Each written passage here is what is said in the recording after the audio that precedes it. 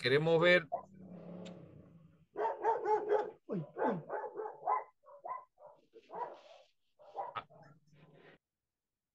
Hermano José, lo están correteando los perros, creo. Hermano José, hermano José. No, los perros ahí en la, ahí en la calle. La calle. ¿no? Ah, sí, pues. Está bien. Si pueden mantener su micrófono, mejor para que no haya interferencia y todos escuchemos. Gracias.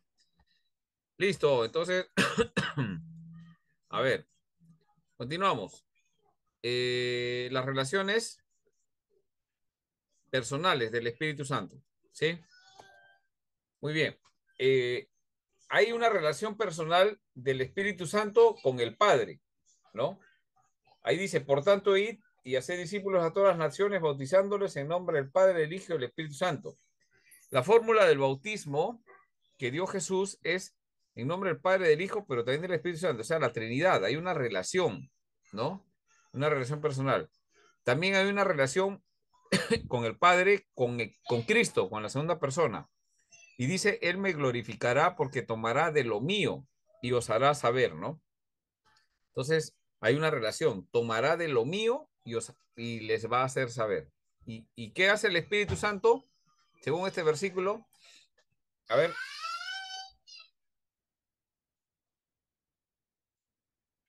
¿Qué hace, qué hace el Espíritu Santo?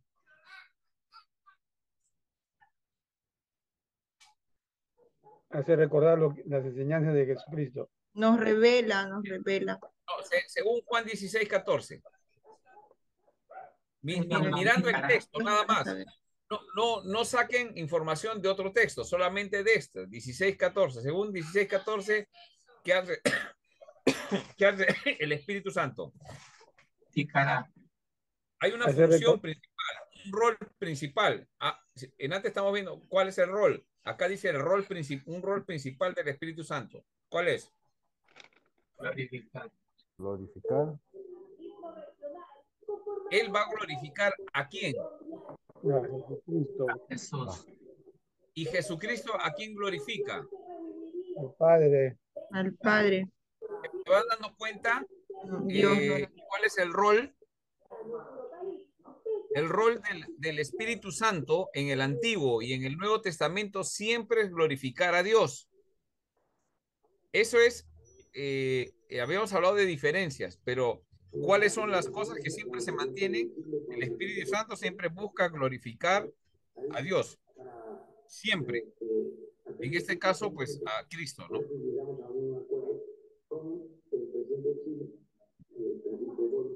Ahora, ¿cuál es la relación con los cristianos? ¿Quién puede leer? Hechos 15, 28. Ya yo, pastor. Porque ha parecido bien a- al Espíritu Santo. Ya nosotros no imponemos ninguna carga más que estas cosas necesarias. Hechos 15, 28. que ha parecido bien al Espíritu Santo, ya nosotros no imponemos ninguna carga más que las cosas necesarias. ¿Cuáles son? Las que el, el Espíritu Santo, a través de la palabra, da. ¿Me dejo entender? ¿En qué contexto está esto? Hechos 15.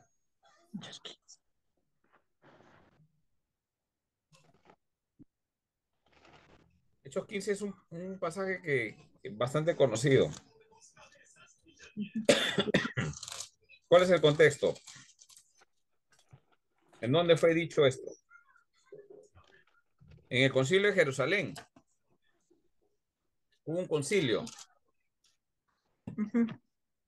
¿Qué cosas estaban queriendo imponer lo- lo- la- los, este, los nuevos cristianos?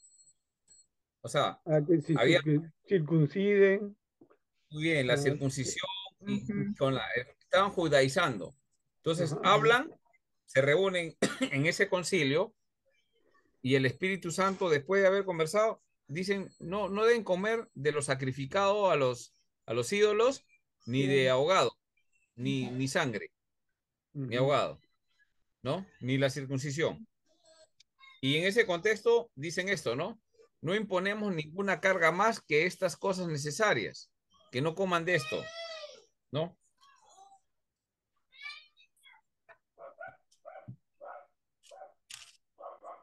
Mm,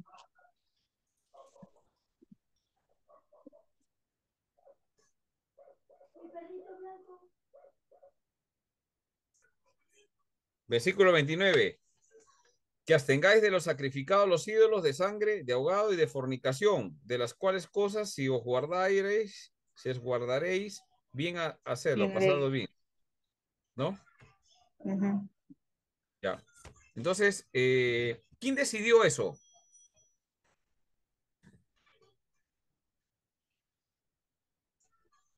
Los que estaban reunidos en Jerusalén. pues, sí. O sea, el Espíritu Santo dijo, no hay que estar imponiendo cosas a los, a los creyentes. Costumbres de judíos, no, no es necesario. ¿No? Entonces, eh, el Espíritu Santo, interesante, ¿no? ¿Cómo va funcionando? A ver, Ah, ya. Muy bien, ¿alguna pregunta hasta acá?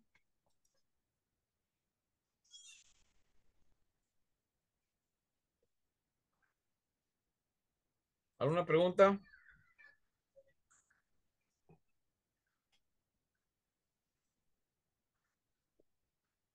Creo que ese versículo que justo hemos leído ahorita en Hechos es lo que usted al inicio dijo, ¿no? De sobre en qué momento este se deja la ley, ¿no? Por la gracia, ¿no? Mira, eh, en sí, eh, ¿en qué, mo- en qué momento, en qué momento cambia eh, el tema de los pactos, el pacto antiguo y el nuevo pacto? Es en la. Santa Cena. En la Santa Cena, antes de je- morir Jesús, él toma la Santa Cena y él dice, esta es mi carne, que por vosotros es, ¿no? Y Este es el nuevo este es pacto. mi sangre, Este es el nuevo pacto. Nuevo pacto, en mi sangre. En mi sangre. tomarlo y hacer memoria, ¿no? De mí. ¿Y en qué momento se ejecuta eso? Cuando Jesús muere en la cruz. Por eso que en la cruz dice, muriendo en la cruz, dice que hubo un, un terremoto. Y en el templo partió el, el ¿cómo se llama este? No, El, el la, velo, el velo la del- cortina, el velo que separaba el lugar santísimo del santo, se parte en dos, ¿no? Como un indicativo, ¿no? Ya, ahora, eh, el asunto es que algunos piensan que ese, ese velo era un, un- una tela de, no sé, de velo, pues, ¿no? ¿Cómo se llama esa de la vela que el, el tul, ¿no? La gente cree que es una telita, no, era una cortina ancha. ¿Cómo así se, se partió en dos con un terremoto? Las cosas de tela ancha no, es como una frazada, pero una alfombra, pero, o sea, como una alfombra se puede romper en dos. ¿no? Interesante es esa, esa forma. Pero ahí, ahí se, se acaba todo lo anterior y empieza el nuevo pacto en Cristo Jesús, ¿no? ¿Y cuál es ahora el rol? El rol del Espíritu Santo empieza porque ahí muere Jesús, ¿no? Y el rol del antiguo, hasta en el ministerio de Jesús, vemos cómo funcionaba y ahora con la, con la, con la nueva, este, ya Jesús no está, él parte y viene el Espíritu Santo y les da poder. Y el primer pasaje de Hechos 1, vamos a Hechos 1 un ratito.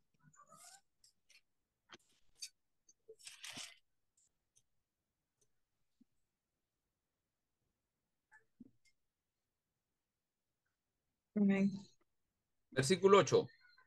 ¿Quién puede leer? Pero recibiráis poder cuando haya venido sobre vosotros el Espíritu Santo, y me seréis testigos en Jerusalén, en toda Judea, en Samaria y hasta lo último de la tierra. Muy bien. Entonces, lo que está advirtiendo Jesús es que el Espíritu Santo ahora va a venir, va a venir sobre ustedes y les va a dar poder. ¿Poder para qué? Para ser testigos de Jesucristo en Jerusalén, para hablar, valentía para hablar principalmente, ¿no? Entonces, interesante observar cómo empieza y después el proceso dentro del creyente regenerado, ¿no? El poder, el poder de la resurrección. Muy bien. ¿Preguntas hasta ahí? Pastor, Sí. eh, no lo entendí tan bien. Usted acaba de mencionar, dice que eh, el comienzo del Espíritu Santo es a, a través de la Santa Cena. ¿Eso es lo que le entendí? No, no, no. El Espíritu Santo, el, el Espíritu Santo viene en Pentecostés al creyente. En Sí. Pentecostés viene al creyente y se queda y habita y mora con el creyente, con el creyente, ¿no? No mencionó algo, Cena, no, mencionó algo del sacramento de la Santa Cena, Pastor. ya, la Santa Cena eh, es un indicativo de qué, ¿no? Del nuevo pacto.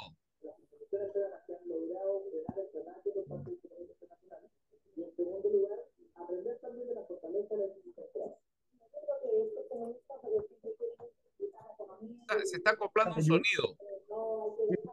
molestando. Ya, ahora sí. A ver, el, el, ¿por qué mencionamos la Santa Cena? Eh, lo que simboliza la Santa Cena es el nuevo pacto. ¿En qué momento se dio el nuevo pacto? ¿Quién instituyó el nuevo pacto? Jesús.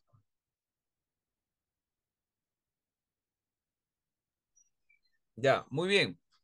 ¿En qué momento? En la Pascua. Claro, en la Santa Cena. La Santa Cena.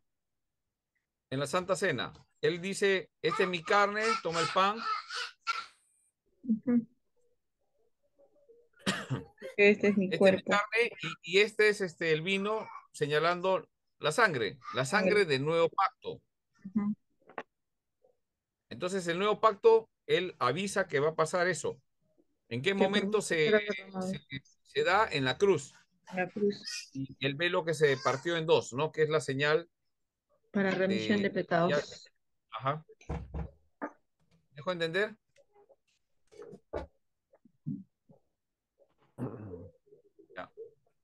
Ahora, ¿por qué he mencionado el, el- la Santa Cena? Esa es tu pregunta, Pablo. Sí, Pastor. es- Ya, ¿por qué? Porque tenemos que tener claro en qué momento acaba eh, eh, la ley, o sea, de la ley del antiguo pacto, el antiguo pacto por obras, en qué momento acaba. Porque si no tenemos eso en mente, no sabemos cómo funcionan las cosas. Porque en el antiguo pacto se da eh, todo el tema de la ley, el sistema sacrificial. Entonces, la obra del Espíritu Santo, el rol del Espíritu Santo era diferente. Pablo, ¿por qué razón es diferente la obra del Espíritu Santo en el Antiguo Testamento con la del Nuevo Testamento? Una diferencia. ¿Cómo dice, Pastor? No, disculpe, no. El rol del Espíritu Santo en el Antiguo Testamento, ¿cuál es la diferencia con el Nuevo Testamento? Antiguo Testamento, Pastor, normalmente el Espíritu Santo venía y se iba, ¿no? Sin forma. Ya, e- e- eso es. Eso es lo que estoy explicando.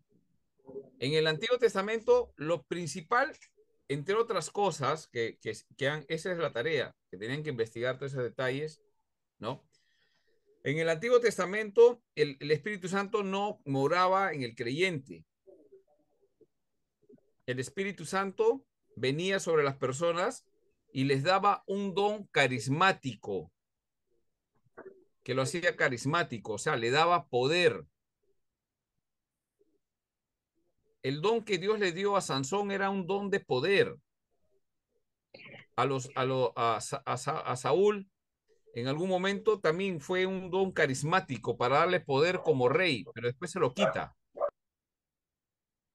David, cuando él comete el pecado con Betsabé, escribe el Salmo 51 y le dice al Señor, Señor, no quites de mí qué cosa. ¿Qué, no- qué le pide? Tu espíritu. No quites de mí tu Santo Espíritu. Entonces, ¿en qué momento acaba la etapa del, del antiguo pacto? Eso es el, el tema. ¿Cuándo acaba? A ver, Pablo. ¿Cuándo acaba el, el antiguo pacto? El pacto por obras. Mm. Usted está mencionando que en el Pentecostés, pastor, cuando la venía de- No, en la- y a ver, la- eh, creo que algunos no han comprendido esta parte y esta parte sí es importante. El antiguo pacto, voy, voy a mencionar de nuevo, el antiguo pacto, ¿dónde acaba? Es la pregunta. Apa- acaba en la muerte de Jesucristo, cuando Él muere en la cruz. Claro. Su sangre, que es la señal del pacto en la Santa Cena. Cuando tú to- todos tomamos la Santa Cena, recordamos, ¿qué cosa? El pacto, no, pacto. La muerte de Jesús, La su muerte de sangre. Esa sangre es el nuevo pacto. Pastor, pero en la cruz él no, no, no instituyó, no pues, es que él avisó antes, en la Santa Cena, antes de morir, tuvo una cena, la última cena. Pastor, Pastor, disculpe, ya sigue ¿sabe adelante. cuando dice consumado es? Es jueguecito más imbécil que.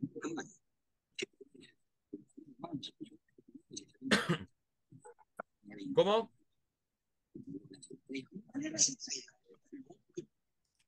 Cuando Jesús dice consumado es, termina el pacto. Claro, cuando él muere, ahí acaba todo. Consumado es. Pero cuando hay eso, ¿qué sucede?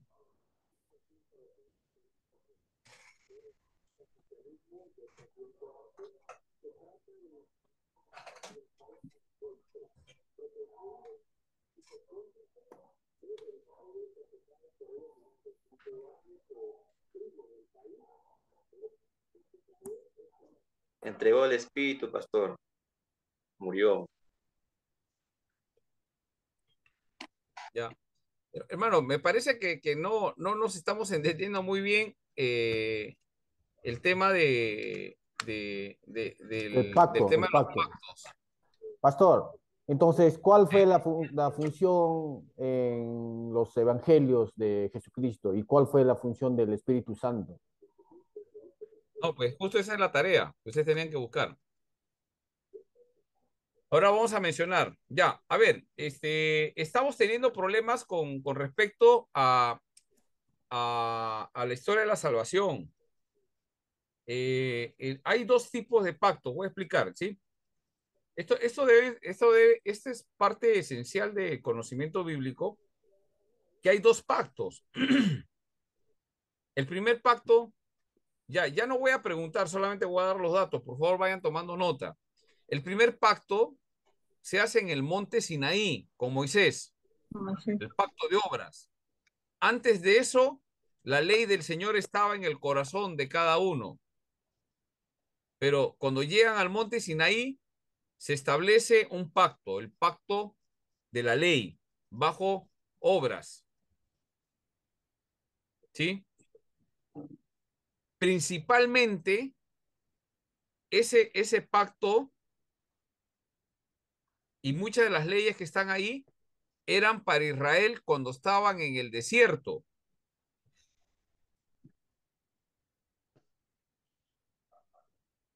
Y para Israel cuando se establecieran en la tierra prometida. Y de ahí, bueno, ha ido aumentando el tema del templo y las cosas, hasta ahí la ley. ¿Sí? ¿En qué momento acaba la ley? Cuando viene Jesucristo y empieza a enseñar. Ustedes escucharon, pero en ese momento todavía la ley sigue vigente. Él está enseñando. ¿En qué momento acaba? Cuando Jesús hace la Santa Cena antes de morir. Pues no va, no va a hacerlo muerto, pues no. Antes de morir, en la cruz tampoco lo, lo instituyó la Santa Cena lo instituyó en la, un día antes de morir, en la noche anterior de morir. ¿Sí? ¿Estamos hasta ahí? Y ahora él dice nuevo pacto, No, pacto. nuevo pacto. ¿Y a la, ¿cuándo, ¿cuándo se da todo eso? Cuando muere en la cruz, pues. Cuando él ya dice consumado es, ¿no? Mm. Mateo 26, 27. Ya, ahí es el terremoto y todo, ¿no? Sí. ya. Ahora, el día que muere, de ahí resucita al tercer día. Sí, ¿no? Sí. Ahora, del día que muere, al tercer día resucita. Pero Jesús había anunciado que va a venir un consolador. Juan 15. Juan 16. Va a venir un consolador. ¿Cuándo va a venir? En el día de Pentecostés, que no tiene que ver con, ya está en el nuevo pacto. Pentecostés llega, el Espíritu Santo llega, ¿en qué momento llega? Cuando ya están en el nuevo pacto. Ahora, los judíos querían seguir viviendo en el antiguo pacto, eso no importa. Y eso es lo que tiene que batallar la iglesia. Por eso que el concilio de Jerusalén todavía quieren seguir viviendo como judaizantes. No, ahora es cristianos. Entonces, el Pentecostés, la venida del Espíritu Santo, viene en el nuevo pacto, a los 50 días de iniciado el pacto. Hay un nuevo pacto, el pacto de gracia, la ley de Cristo, donde el Espíritu Santo va a guiar a toda la verdad. Les va a recordar lo que Jesucristo ha enseñado. Eso ya es la promesa del pacto, del nuevo pacto. Ya. Pero ¿qué pasa en efectos prácticos? Llegan, están que todos que se tienen que circuncidar, se, tienen que circuncidar. Jesús nunca enseñó eso. Entonces los discípulos preguntan, investigan y el Espíritu Santo les dice, el pasaje que hemos leído, ¿qué les dice? En el concilio de Jerusalén, Hechos 15, ¿qué les dice? Ya, entonces esa es la promesa del pacto. ¿Estamos bien? Estamos, este, Sí, esta parte cronológica, hermanos, esta parte cronológica la tienen que tener clara, Eh, porque si 15. no van a cometer errores, pero fuertes con respecto a, a- a algunas cosas. Y, por ejemplo, Es- la, la función del Espíritu Santo es importante, ¿no? Pastor, Sí. una consulta. Eh, ¿por, qué algunos 15, libros, 28. ¿Por qué algunos libros mencionan, bueno, no lo tengo el autor, ¿no? Algunos, justo estaba leyendo, algunos libros que dice que la, el, el Espíritu Santo se manifiesta, ¿no? Mayormente en el libro, o termina, ¿no? Ah, pero comienza en el libro de Hechos, en el, en el Pentecostés. ¿A qué se refiere, pastor? Ahí es la terminación de la ley. En Pentecostés, O sea, ella termina la, comienza, ya termina la ley, ¿no? no, la ley ya había terminado cuando Jesús da el nuevo muerte de pacto. Jesucristo. Y ahorita usted nos está mencionando que, Ahora, ¿no? eh, Pablo, Pablo, lo que, yo quiero, es lo- lo que yo quiero que entiendan todos es lo siguiente. Que, lo, lo- por ejemplo, los comentarios, opiniones de otras personas, si no están basadas en la Biblia, no, no aceptamos. Solamente han dicho, son opiniones. Nosotros tenemos que ir al texto bíblico. El texto bíblico, va- vamos un ratito a, Hechos. no, eh, vamos a, a la Santa Cena. 26, 20, 27, pastor. 27, 28. De Mateo, ¿no? Sí, pastor Mateo.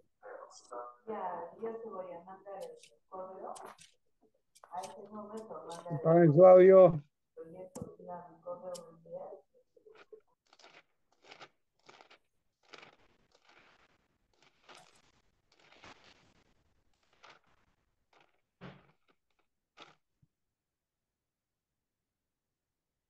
Veintiséis. Dice, y mientras comían, por favor, esténse atentos, ¿ah?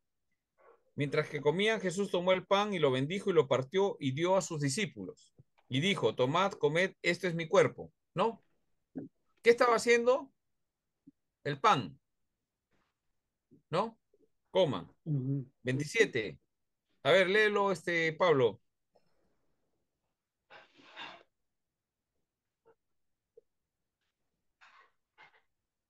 Yo lo leo mucho más. Y tomando la copa y habiendo dado gracias, le lo dio diciendo, bebed de ella todos, porque esto es mi sangre del nuevo pacto, que por muchos es derramado para remisión de los pecados. Muy bien. Entonces, ahí es importante marcar. Él dice, esto es mi sangre. O sea, lo que están tomando es vino, no es sangre. Y dice, este es un símbolo de mi sangre, del nuevo Nuevo pacto, pacto. Nuevo pacto. que por muchos es derramada la sangre. Ahora, eh, este es, un- este es, voy a mencionar rápido. Hasta ese momento, cuando Jesús muere en la cruz, se presentaban sacrificios para redención de pecados. ¿Eso sí sabe, Pablo? Sí, hermanos, ¿eso sí saben? Sí, pastor. Eso sí, sí, pues. correcto. Que tenían que presentar sacrificios para redención de pecados. ¿Sí? Correcto. Ahora Jesús dice, ya no van a ser así. Ya no, ya.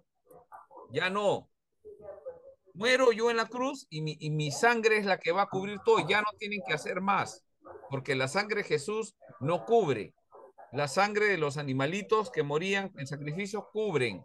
Pero la sangre de Jesucristo quita el pecado. Esa es la, la teología del pecado.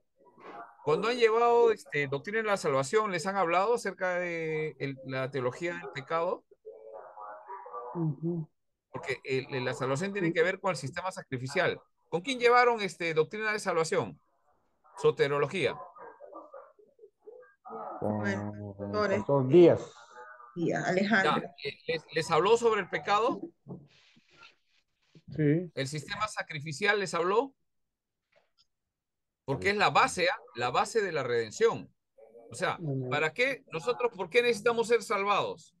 Simple, ¿no? De, de la escuela dominical, cuando le enseñamos a los niños, ¿de qué necesitamos ser salvados? De la condenación. de- Hemos La sido condenación denigrados del, por el pecado, pastor. Mm. Del- pecado. A causa, de- a causa el del pecado. Entonces, El pecado es el problema. Entonces, la pregunta es, a ver, de repente con esto recuerda un poquito, no sé si les han enseñado, si no les han enseñado, ahí, voy a tener que observarlo en el seminario. A ver, ¿cómo era el tema del pecado? ¿Cómo cubrían el pecado en el Antiguo Testamento? A través del sacrificios. sacrificio. Con sacrificios. sacrificio. pastor. Ya, hermanos, lean bastante acerca de eso, porque el tabernáculo que el Señor los lleva al pueblo de Israel, los saca de Egipto y los lleva al desierto, Él dice para que me alaben, para que me adoren en el desierto, ¿sí? Cuando los saca. ¿Y qué cosa es lo que hacen? Les arman el tabernáculo para aprender a tener una relación con Dios. Y ahí les enseña el sistema sacrificial para poder tener relación con Dios. Dios está ahí, pero el hombre no se puede acercar. ¿Por causa de qué? Del pecado. Entonces necesitas cubrir tu pecado. Y el sistema es a través de sacerdotes. Y el sumo sacerdote que entra una vez al año. En general, eh, Pablo, ese es el antiguo pacto. ¿Ya? Ahora, el nuevo pacto, ¿qué es?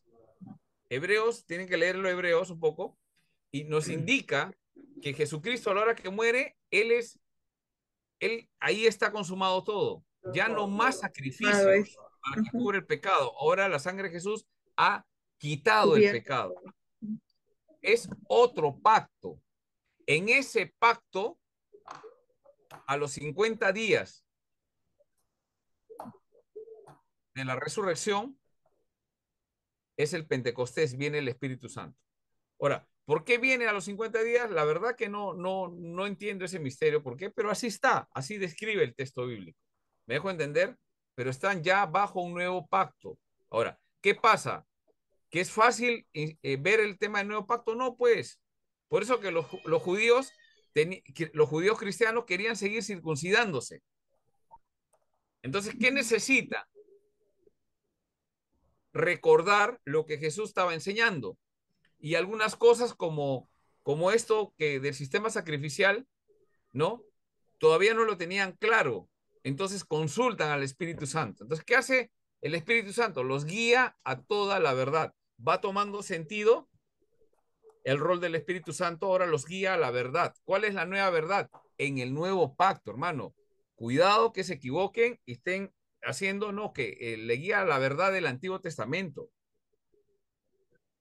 ¿Me dejo entender? El nuevo pacto es importante, o sea, hay un antes y un después. Entonces, el rol en el Nuevo Testamento es para dar testimonio de Jesús, el Espíritu Santo, pero ¿cuál es la obra en el creyente? Es su santificación. Es su santificación.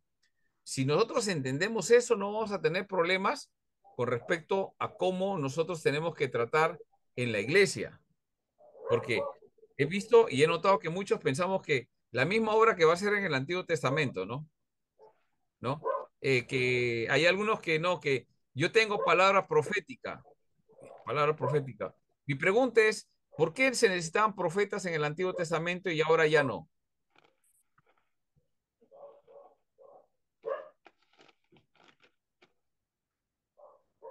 A ver, En el Antiguo Testamento porque, ahora, profetizaba. porque ahora tenemos la Biblia. así de simple. Como dice el hermano José, Palabra. La palabra profética más segura son las escrituras. Antes no había eso, entonces necesitaban palabra de Dios a través de los profetas.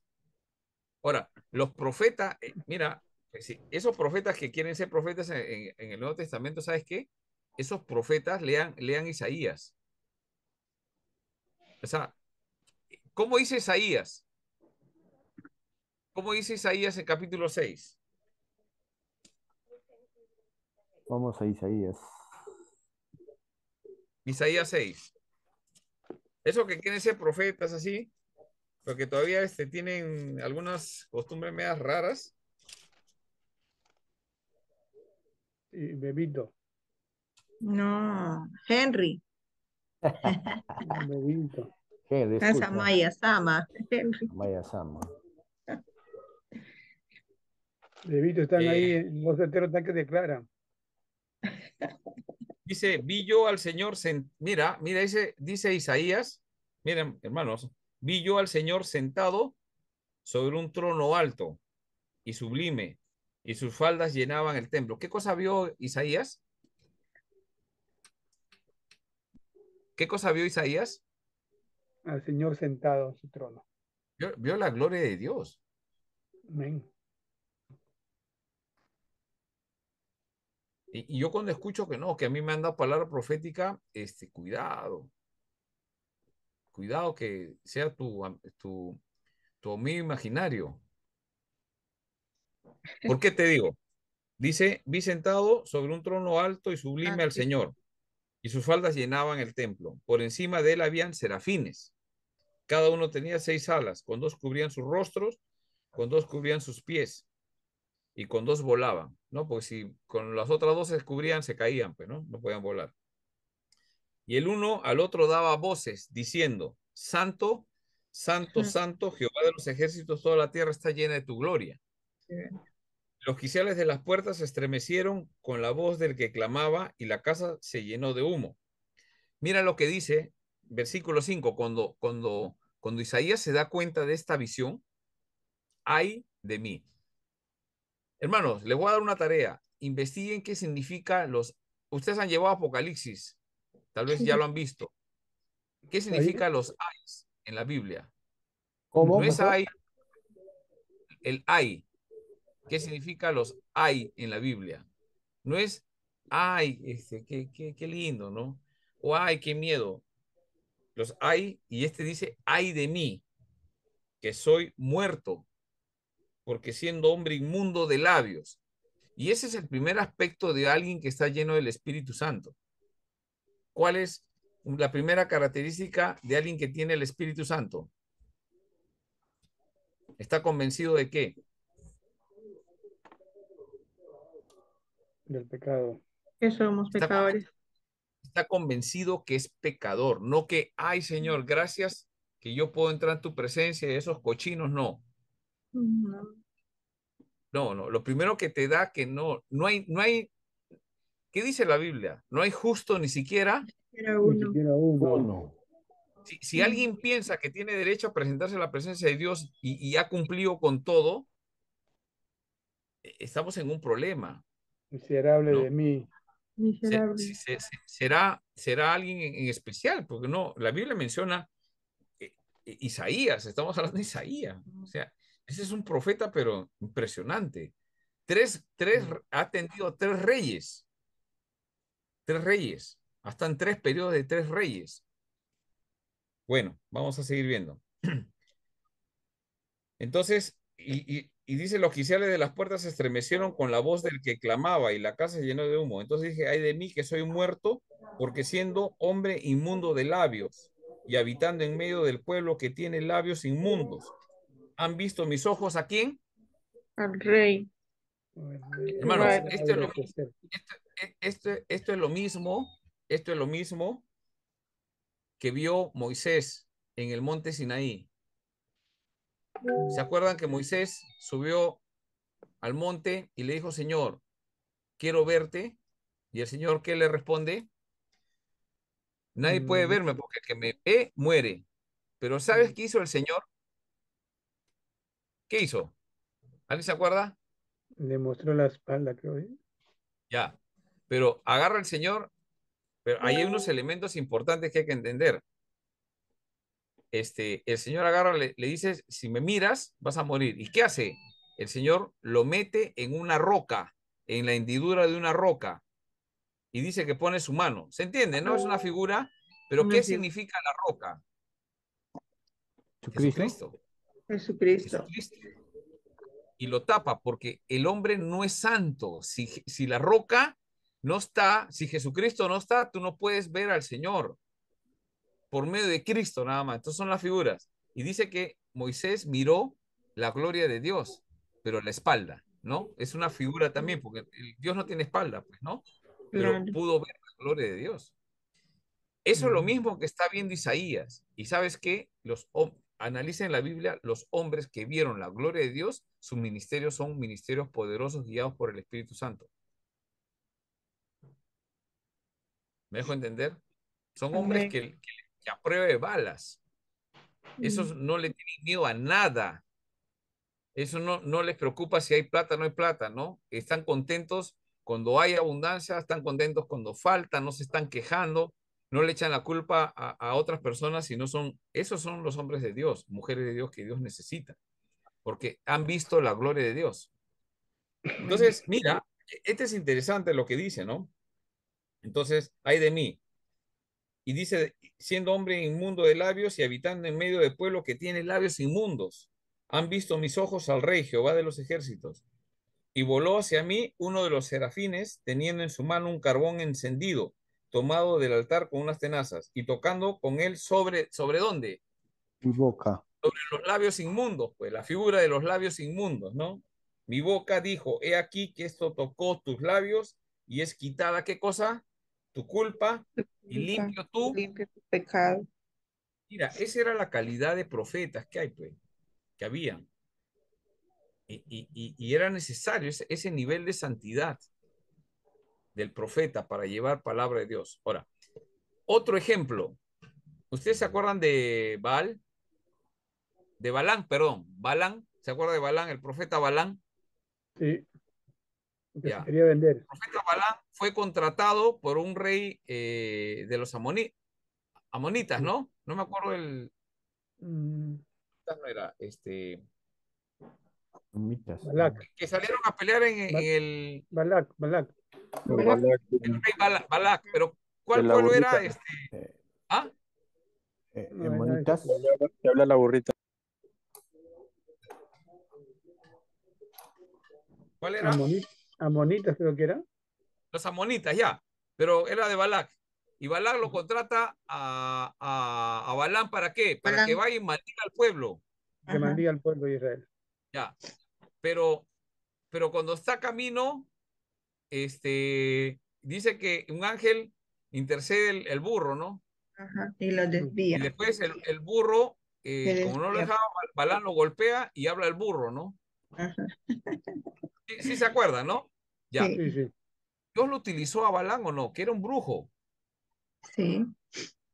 Ya. Eso. Entonces el Espíritu Santo utilizaba no necesariamente personas en santidad para cumplir ciertas cosas. Porque obviamente que a Sansón de santo no, tenía, nada. Lo único que tenía era el cabello, ¿no? Que al final, pues, este, la. Filistea se lo cortó, ¿no? Lo único que le quedaba, ¿no? Y al final se lo cortó y bueno, ya. Y, y aún así Dios le dio. Pero es interesante que los profetas el ministerio, eso era lo que tenían que observar en el caso de los profetas, como Isaías, Sí, santidad, pero, pero elevada, o sea, un nivel de santidad. eh, miren, miren la descripción de lo que está acá. Esa era, lo- esa era la idea, Pablo. Entonces, eh, eh, el Antiguo Testamento, vemos una forma, eh, cómo actúa el Espíritu Santo, y en el Nuevo diferente, ¿ya? A ver, eh, yo Pastor. quisiera, tenemos, sí, Pastor, ¿y por qué no, no lo tiene el texto y ves en el Nuevo Testamento dice que yo instruiré profetas, apóstoles? ¿A qué se refiere eso? no, no lo tengo el texto ahorita en mente, pero Efe- Efesios 4.11, sí. Efesios 4.11. Ajá. Y él, y él constituyó algunos apóstoles, Apóstoles, maestros. ya. La, la pregunta es, cuando vemos que dice instituyó apóstoles, mi pregunta es, ¿quién es un apóstol?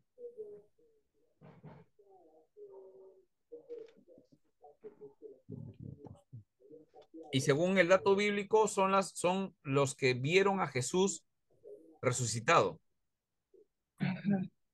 Vieron que, o sea, para tú verlo resucitado, tienes que haber visto muriendo para poderlo ver resucitado. Exacto. Ya. Primera característica. Ahora, pregunta, ¿en eso de los apóstoles que existen, hay alguno que ha visto a Jesús este resucitado? Ninguno, pastor. Ya. Entonces no hay apóstoles. pues, ¿no? Son, se están denominando. Pero bueno, hay que dejarlos. De repente ellos así están sirviendo al Señor, es su asunto, ¿no? Nosotros no tenemos que ver con ellos, pero Exacto. notamos que si, si en nuestra iglesia aparece uno, mira, ¿sabes qué? Que Dios me ha dicho que, que yo le, un día me aparezco yo, ¿no? Hermanos, yo les he estado enseñando doctrina y eso me da la autoridad de poder tener una cobertura sobre ustedes y yo voy a orar por ustedes, pero me van a llamar a partir de ahora el apóstol. Va. Entonces usted, oye, ¿verdad? ¿No? Me está enseñando más. Entonces, ¿qué responden? Ya se le cayó un tornillo al pastor, pues. Se, se le ha caído un tornillo. Se le ha caído un tornillo. O sea, Le llamamos a. Henry, pastor, a Henry. Samaya Sama. Oh, Samaya Sama. Samaya, Amaya Sama. Sama. Mira, Rambo saca la bazuca. Sácalo y dale un. Uno, pero eh, que lo va a volar. Entonces, este. eh, bueno, con respecto al tema de lenguas, ya es otro tema que vamos a verlo. en- Pastor, en entonces, dos- bíblico, pastor, entonces, bíblica, pastor, entonces, bíblicamente, el último apóstol fue Juan el Bautista. Ah, sí. No, no, no. El último fue eh, Pablo. No me refiero Pero de los gentiles sería, ¿no, pastor. pastor? Pero él es, él es apóstol. Para los gentiles, o sea, para nosotros. Sí, pero es el último. Porque si no, claro, porque si no tampoco no se cumplirían los 144 mil, pastor. O sea, nombran, Claro, a- ahí claro. dice un tema, hay un tema ahí que hablar. Sí, pero eh, ha- habían otros apóstoles, sí. Bernabé era un apóstol, pero no era de los doce. Exacto. Sí, era otro tipo de apóstol, ¿no? También se hará para los gentiles, porque si no, nos salimos de los 12. Claro. Ujú. Pablo Excelente. mismo dice que él había sido llamado como un abortivo, ¿no? El Ah, último, el más pequeño de todos, el último. Entonces Sí, él claro. dice es el último. Entonces, ¿para qué vamos a poner más? Exacto. Bueno, ese, ese tema no tenemos problema nosotros en nuestra iglesia, ¿no? Si aparece uno de esos, ya lo mandamos al movimiento apostólico, que ahí sí reciben. No nos hacemos problemas, ¿no? Ahora, profetas, eh, el ministerio profético en el Nuevo Testamento eh, tiene que ver con, con, con, con, este, traer palabra profética eh, que, que habla la Biblia, ¿no? O ya no, ya no podemos traer palabra profética aparte de la Biblia, ¿no? Entonces, si es que ya no, como que el, el ministerio no es muy útil, ¿no? Más si pastores y maestros, ¿no? Ancianos en la iglesia, diáconos, servicio, ¿no? Servicios. Eh, evangelistas. Así es. Eh, evangelistas, claro, sí, hay gente que tiene el don, pues, ¿no? Que son dones. Ya eso lo vamos a ver en, en eh, la parte de, de- de dones del Espíritu Santo. Muy bien. Este, apunten, por favor. Les voy a dejar una, una tarea para la otra clase. Este, los que no han presentado tareas, lo, lo peor que les está pasando es que se están acumulando de tareas, ¿ah? Pastor, es que yo lo había hecho en el cuaderno, como yo sí, este, Está bien, está bien, hermana, no se preocupe. Usted eh, es más fácil que se ponga al día. Eh, me refiero a algunos que, que hasta ahora me están debiendo tareas de ahí otros está. cursos. Yo lo hice, pastor, ahí está. Sino hermana. que este, pero cuando ya le pasas, escuché que, claro, ya lo voy a pasar mejor, le mando. Está bien, está bien, hermana, no hay problema. Me refiero en el caso de otros que, que están acumulando y están debiendo tareas hasta de cursos anteriores, ¿no? Entonces, eh, ya hemos dicho que sí se va a recibir, pero no, no puedo recibir de igual forma que el que lo entrega puntual, ¿no? El que lo ha entregado puntual tiene que tener algún, ¿no? Si no, todos me entregan, pues, este, al final, ¿no? Mm, Que no es la idea, ¿no? Entonces, este, eh, bueno, traten de entregar. A ver, la tarea es simple. Vamos a dar lectura al libro El, el, el misterio del Espíritu Santo. Primero era investiga sobre los hay, ahora dos. No, no, eh, sí, ese de los hay es para más información para ustedes, ¿no? Ah, ya. Para, tema, para, sí, para es conocimiento, pastor. Para conocimiento de ustedes, ¿no? Pero la tarea que me van a presentar es el, en el libro El misterio del Espíritu Santo de, de Sproul, ¿no? Ahorita les voy a mandar el libro para que ustedes lo puedan este, eh, visualizar en sus computadoras. Eh, hay un apartado que se llama El Espíritu Santo en la creación. El espíritu. Cuando hablamos de la creación, ¿en qué parte está la creación? ¿Antiguo Testamento o. Nuevo Testamento? Antiguo. Antiguo. El Espíritu Santo de la creación, de la creación Eh, o en la en la- El creación. Espíritu en la Santo creación. en la creación. Así se llama el título de esa parte. Ya está. Página Génesis 67, página 67 al 81. Ya lo leemos. 67 al 81. Sí. Este, Carlitos, si puedes, me ayudas este, escribiéndolo en el grupo, la tarea para que, ¿no? Eh, exacto, para que todos consulten ahí y tengan la información. Un resumen le mandamos a todos. Resumen, no, ¿no, no. pastor? Esperen, esperen, esperen, todavía, todavía no he hecho la tarea. Ese es el libro, en esa página 67 al 81 ustedes van a leer.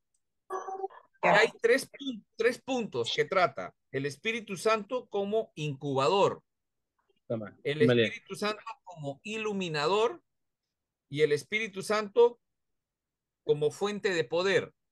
Es interesante que este Sproul lo analiza así. Por eso que este libro, léanlo todo. Pero Podría- esta parte, eh, quiero que lean estas tres partes, ¿no? ¿Podría El Espíritu repetir, Santo pastor? como incubador, el Espíritu. Santo como iluminador. Ahí está el título, no, no hay problema. Incomoda Y el poder. Espíritu Santo como fuente de poder. ¿Ya? ¿Qué van a hacer? Lo van a leer. ¿Ya? Y en la próxima clase yo voy a preguntar. Y voy a empezar preguntando, eh, bueno, es que eh, para dar oportunidad, ¿no? A los que eh, eh, por lo general están con las cámaras apagadas, ¿no? A ellos les voy a dar la oportunidad de poder responder primero. ¿Sí? Entonces, ¿Solo, es lectura, pastor, o hacemos un resumen? Sí. Si- si- yo les recomendaría que ustedes ha- hagan alguna anotación manuscrito, nada más para que no se, no se, no, no Ya. se haga mucho trabajo. No, No me van a presentar el trabajo, es una lectura. Y vamos a conversar sobre eso la próxima clase.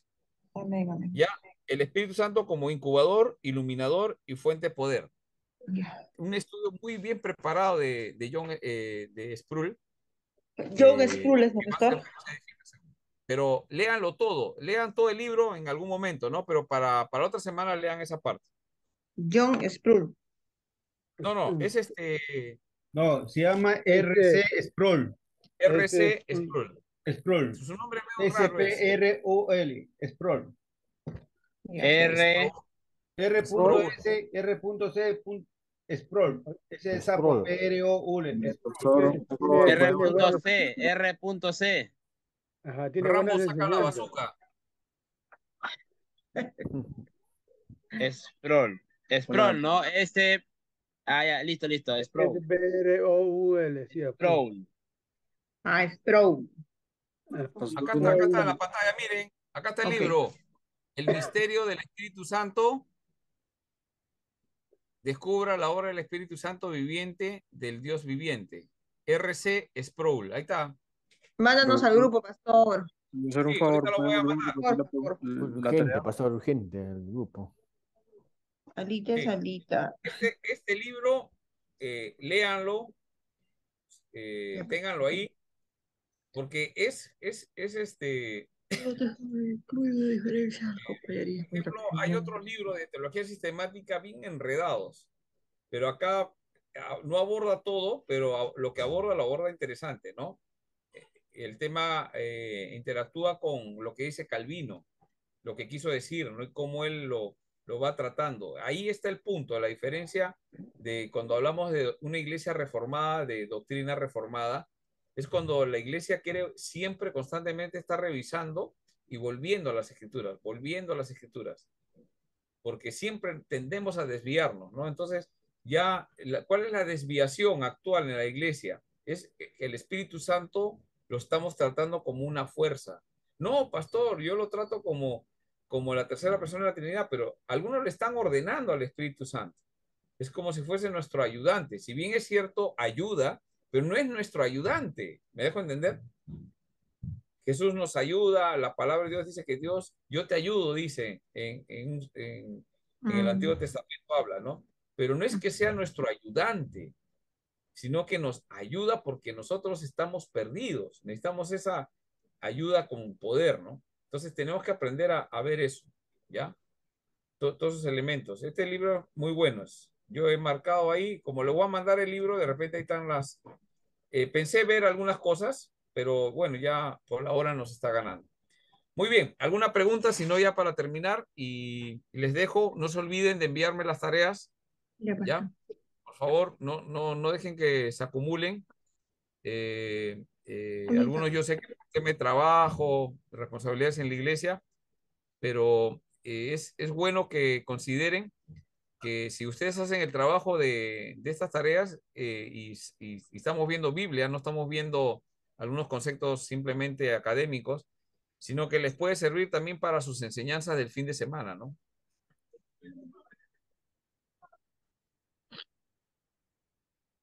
Ya. Listo. Entonces terminamos orando. Hermano José Mejía, ¿puedes levantar una oración para terminar?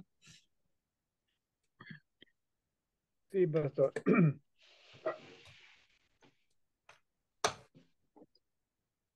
Padre Celestial, te damos las gracias, Señor, por esta noche, por estos minutos, por estas horas, Señor, de, de aprender un poco más de este importante tema del, del Espíritu Santo, que es Dios también, como, como tú lo, lo quisiste, Padre Santo. Aunque no podamos entender de todo, Señor, ayúdanos ah, y abre nuestro entendimiento, nuestro corazón, Señor, para entender eh, de una manera que nos ayude en, lo que tú nos has encargado, en, en el ministerio de cada uno de nosotros, Señor. Eh, bendice a cada hermano, bendice al pastor, Señor, para que podamos cada día, Señor, esforzarnos un poco más, Señor, porque eh, estamos, eh, o ayúdanos, Señor, a tener la conciencia de que estamos ante, ante un Señor grande, de misericordia, y que debemos de, de hacer o realizar todas las cosas según su excelencia, Señor. Eh, ayúdanos en nuestro descansar eh, y, en, y en nuestros sueños, Señor, revélanos las cosas que aún cometemos y eh, no de acuerdo a tu voluntad, Señor. Y bendícenos, Señor, en el nombre de tu Hijo amado Jesucristo. Amén. Amén. Amén. Listo, hermanos. Bendiciones, pastor, hermano, compañeros. Nos vemos el lunes. Bendiciones.